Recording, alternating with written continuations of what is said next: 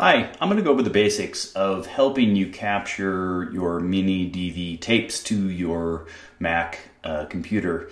Uh, there's actually a, a, couple ways to go about this, but I think I found um, really the best system to go do this. So let me just jump in and I'll start with absolutely the basics and show you what you need to capture, and then I'll go through the process and tell you a little bit more. Let's go ahead and review what you need to capture your DV tapes. First and foremost, you need your camera. There's actually no way around this. Uh, there's, no, there's really no decks and there's no other way to capture the, the videos. You actually have to play the video. So I've got a Sony, um, but there's also cameras by JVC and Panasonic and uh, Canon. Um, but all of these work. Uh, next, you're going to need your power cable. And actually, for this camera, um, I didn't have my power cable, so I went and bought a third party called Wasabi Power, and it actually works fine in the Sony camera. Next, you're going to need your connection cables to connect to your Mac computer. So we're going to use a FireWire cable. And on this side is a mini FireWire. I'm not sure that's what they call it, but it's a small FireWire. It looks kind of like USB. Um, that's actually connected right into the camera. That's actually sometimes called DV and sometimes called FireWire. The other side of this is a little bit bigger. You can see the, the look of this thing.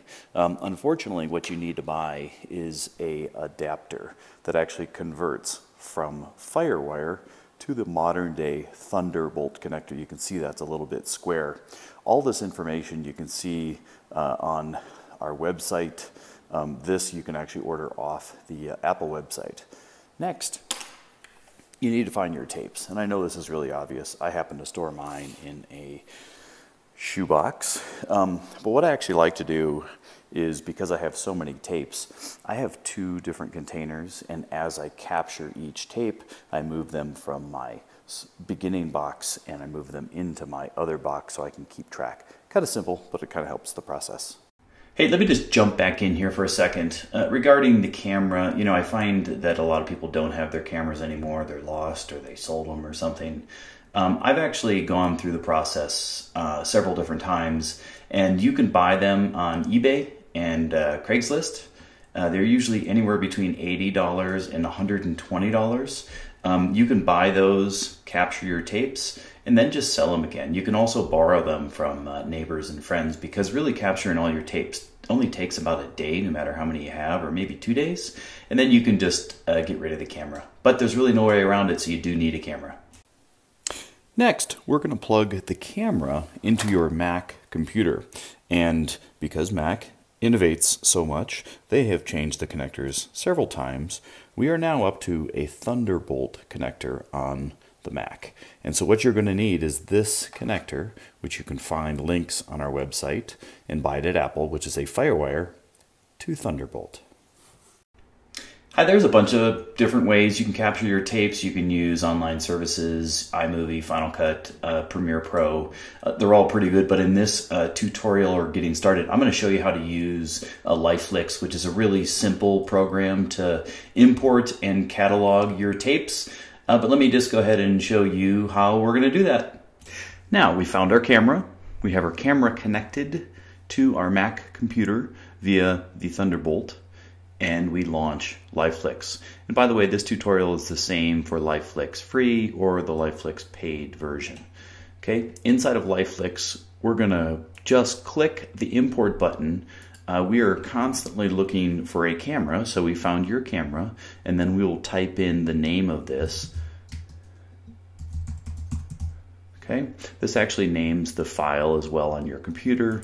I'm not going to rewind the tape just so I can show you how this works. And immediately you'll see the videos start coming in. Ah, there's my wife trying to avoid the camera. Um, anyway, I'm going to go ahead and stop that but it builds uh, a tape in LifeFlix and it builds your scenes. I'm now going to show you a little bit about the catalog, how it works, and then we're going to make a quick movie. So as I said before, on the left side you've got all of your tapes. This is where all the individual tapes you imported. If you click on a tape, then you see the individual videos or the clips that are on that tape. As you can see, this tape has 105 different video clips. Very exciting. Okay, so we're going to click on an individual video clip on the right in the scenes menu. The first thing we're going to do is shorten that video called trimming. And so I know at the end of this video, my daughter's got a cake and all of our friends are there. So I'm just going to basically find that and then I'm going to trim.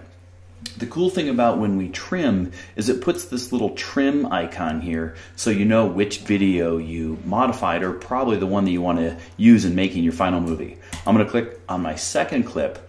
I also know at the end of this clip uh, my nephew is going to pin this little game thing. So I'm just going to basically go to the end. Okay, I'm going to trim that. So now I've got two videos. And if I use the Apple Command key, I can select both those videos. You see how they're blue. I go up here, I click the Combine button. That actually puts that video into the first one. So now I go into that clip and I scroll, scrub through and there is the two videos, and I made a movie. Now I can share that to YouTube or Facebook uh, into my Photos application or uh, onto a file on my computer if I want to email it later. Okay, thanks for listening.